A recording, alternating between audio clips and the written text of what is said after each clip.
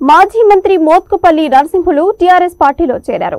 తెలంగాణ భవన్లో సీఎం కేసీఆర్ మోత్కుపల్లి నరసింహులకు టీఆర్ఎస్ కండువా కప్పి పార్టీలోకి సాదరంగా ఆహ్వానించారు.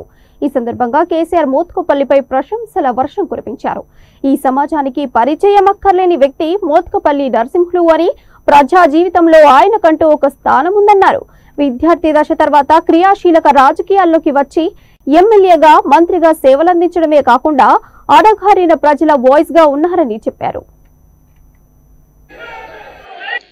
తన జీవితాన్ని విద్యార్థి దశ తర్వాత క్రియాశీల రాజకీయాల్లో ప్రవేశించి అనేక రకమైన పాత్రలు శాసనసభ్యునిగా మంత్రిగా పార్టీ నాయకుడిగా వివిధ రకాల సేవలు అందించడమే కాకుండా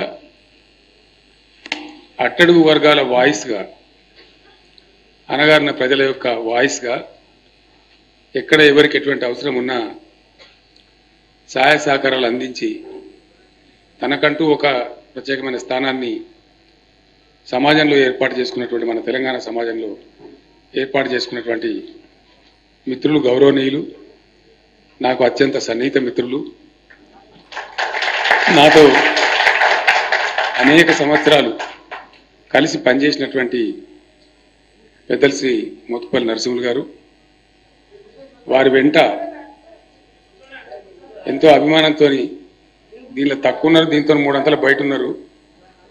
వాళ్ళందరూ మనల్ని క్షమించాలి ఏం చేయలేము. బయట ఉన్నటువంటి లోపల ఉన్నటువంటి నరసింహులు గారితో పాటు వచ్చినటువంటి మిత్రులందరికీ నేను హృదయపూర్వకమైనటువంటి స్వాగతం సుస్వాగతం తెలియజేస్తాను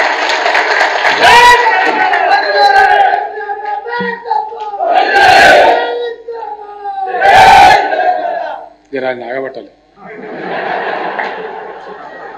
ఎందుకంటే ఇక్కడ నేను మొత్తుకుంటే ఆడ నువ్వు మొత్తుకుంటే ఏది మనసున పట్టాలి?